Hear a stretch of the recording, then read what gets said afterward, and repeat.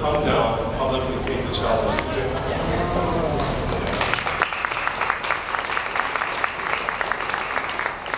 Okay, so I'm going over to the mayor's house for dinner, at least two nights during that week, and we'll pool our resources. So, so why do I want to eat local? Because I am local. But more important, because I come from a heritage of farmers. And I'm not talking about my Ohana, although they are farmers. But I'm talking about Kamehameha schools. Kamehameha schools exist because of 365,000 acres of land in Hawaii that our princess gave to us to steward. And much of that land is agricultural land with water and places for people to learn how to farm.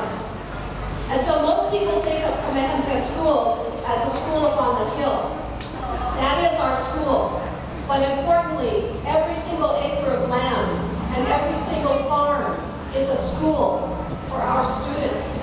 And so you will find that students across Hawaii Native are actually going to the land and learning all the things they can learn in school on the land, which is a school without walls. And they are learning better than they ever have before. So I'm proud to say that there's a whole new generation of farmers coming up, being born and raised, as well as new chefs, that will absolutely make our future brighter.